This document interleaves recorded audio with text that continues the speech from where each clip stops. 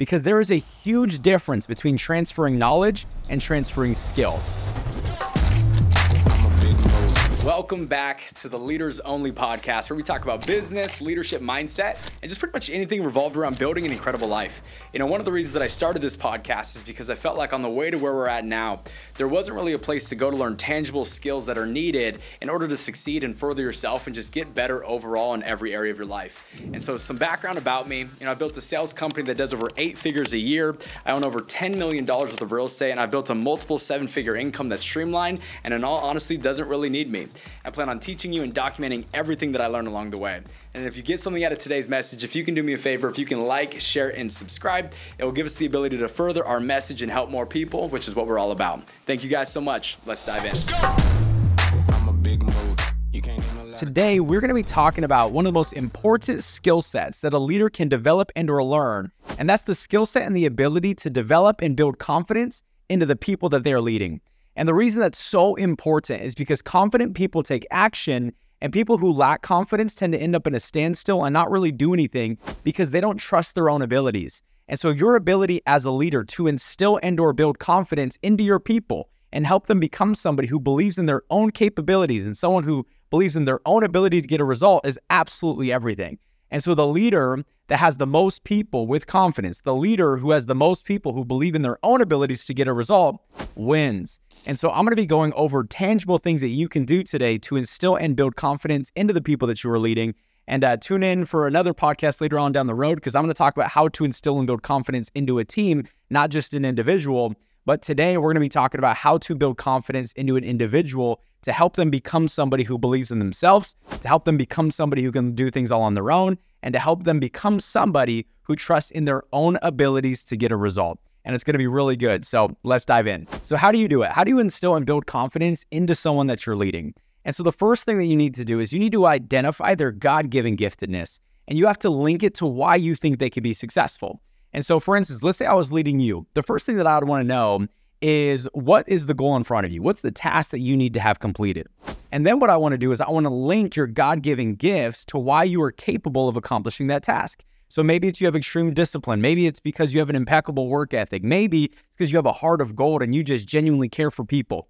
Whatever your giftedness is, I'm going to link it to why you have the capacity and why you have the capability to get the result, hit the goal, and or complete the task at hand. So here's the deal.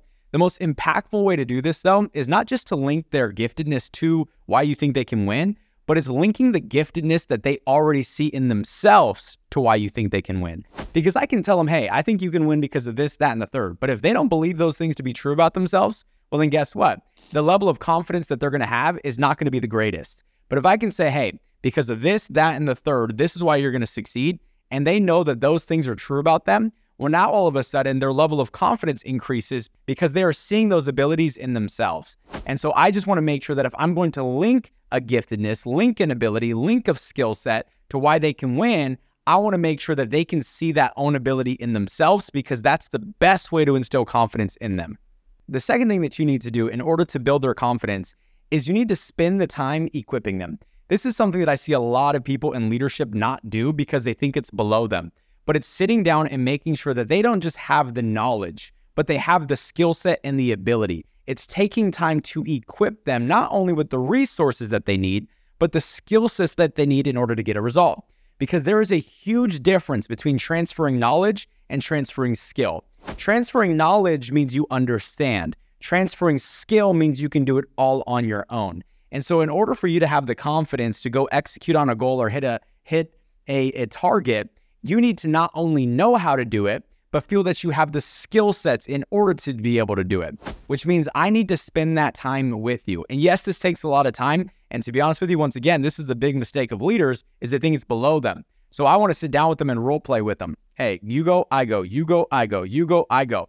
Uh, this is exactly how you do it. Now you try it. This is exactly how you do it. Now you try. This is the button you press. Now press the button. This is the button you press. Now press the button. And I know it sounds repetitive and I know it sounds like it takes time, but I would rather spend the time up front making sure that you know exactly how to do it. That way, I don't have to spend time the rest of your entire career teaching you how to do it. So spend the time up front so that way you don't have to spend the time later on down the road. Number three, we need to pour massive amounts of belief into people. And I'm not talking about earlier when I said link their God given gifts to why they can win. I'm just talking about they need to look at you and feel that you genuinely believe in their ability to succeed and you genuinely believe in their ability to get a result. Because, like I mentioned earlier, most people doubt themselves. And so your belief in them needs to override the doubt that they have in themselves. And it can't just be a transfer of words. Hey, I believe in you and I think you can get a result. It's no, hey, listen, I believe in you. And I know you have everything in you that you need in order to succeed. I know you have everything in you that you need in order to get a result. Stop doubting yourself. You got this. You can do this. I, I know you do. If I didn't think you can get the job done, I wouldn't put you in this position. So just know I believe in you with every ounce of me, and I'm going to be there to help you every step of the way. But you got this. You can do it, and you're going to do an incredible job. I believe in you. See the difference there? It wasn't just, hey, I believe in you. You can do it. They can feel that I genuinely believe in them. And that's how it needs to be. And so just realize that once again, your belief in them needs to override the doubt that they have in themselves. And it can't just be a transfer of words, it has to be a transfer of energy. So, last thing on this point is you have to realize that if you're in a leadership role, they know that you're in that leadership role for a reason, and it's because of your ability to get results. So, when you are entrusting them with a role, part of them is thinking, well, they wouldn't put me in this role if they don't think that I can get it done. So, as long as you can communicate that to them, it's going to increase once again their confidence and their ability to believe that they can go out there and get a result because they trust you and if you have trust in them and they trust you, they are naturally trusting themselves because they know that you wouldn't have them do something that they weren't capable of doing. Number four, follow up with them and show them support throughout the entire process of them trying to complete the goal. Why is that so important? Because once again, they're treading new waters. They're trying to complete a task that they have never completed before. So there is still a level of doubt no matter how much belief you pour into them. So if they hear you and or feel that you're supporting them and that you're there for them throughout the process, now their confidence isn't necessarily tied to what they've done in their experience.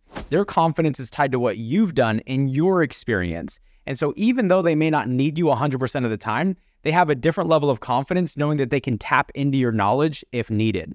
You know, one thing that I learned, you know, very young in my entrepreneur career and uh, from a gentleman by the name of Greg Cap, and it's something that I try to teach every single person that I'm leading is know what you know, know who knows what you don't know, and that's all that you'll ever need to know. Because if you know what you know, you know who knows what you don't know, then guess what? You should have all the confidence in the world because between you and the associations around you, you now have all the knowledge that you need in order to complete a task at hand. And so not only know that for yourself when it comes to your own confidence, but teach your people that because it's going to boost their confidence as well. Number five, hold them accountable throughout the entire process to make sure that not only the task gets completed, but the goal gets accomplished. The reason this is so important is because it doesn't matter how much you link their God given gifts to why they can win. It doesn't matter the skill sets that you equip them with. It doesn't matter how much belief you pour into them. And it doesn't matter if you support them along the way. If they don't achieve the result that they're looking for, then guess what? We just inserted once again doubt. We inserted the lack of confidence. We didn't build confidence into them. The number one way for somebody to become more confident is to achieve the result that they're trying to achieve. That's number one. If they get the result that they're trying to get, guess what? Their confidence is going to boost. So, my ability as a leader to hold them accountable throughout the entire process, to make sure that they get the result, to make sure that they achieve what they're trying to achieve, well, then guess what? Because at the end of them completing a task, you'll see the most confident person in the world because every time moving forward, when that task pops up, they know from experience they know from their own self reputation that they can get a result and they can get the job done. Number six is after you achieve the result, one of the things that's extremely important is to then meet with them and go over everything that went right and what could have gone better. What this does is it's going to help them remember everything that they did right that led to the result that they were trying to get. But then it's also going to allow them to shore up the deficiencies that kept them from achieving the result sooner. And going into the next task and or trying to complete a task like this again, now they have a different level of knowledge, they have a different level of confidence, and they also self-reflected to see what worked, what didn't work, what should we continue to do, what should we avoid doing next time. There's a different level of confidence that comes with that awareness of how you achieve the result in the first place. And so just make sure that after you help them get the result, that you go back and review what they did right in order to get the result and what they could avoid next time to get the result sooner. And last but not least, number seven, publicly recognize them in front of all of their peers because not only is this going to make them seek out more recognition and try to complete even more tasks and go after even more goals in the future, but more importantly, what's going to happen is all of their peers are now going to go up to them saying, I'm so proud of you. That's so awesome. That's so cool that you did that. Can you teach me how you did it? And all of a sudden, they go from a student to a teacher. And who learns more, the student or the teacher? Obviously, the teacher. And if you were the leader of a business, do you want a whole bunch of students a part of your business or do you want a whole bunch of teachers in your business? You want a whole bunch of teachers in your business because the more people in a leadership role teaching, the easier it becomes for your business to scale. And so, if I can encourage you to do something, it's recognize them publicly because now all of a sudden everyone will want to know how they got the result. And then wanting to know how they got the result is going to boost their confidence even more. So, with that being said, if you got something out of today's message, if you can like, share, and subscribe, that would mean the absolute world to us. Obviously, we put out all this information for free because we're just trying to make as big of a difference as we possibly can. And uh, we just appreciate your support. Thank you guys. I will see you guys next week on another episode of the Leaders Only podcast. Talk to you guys later. Bye bye.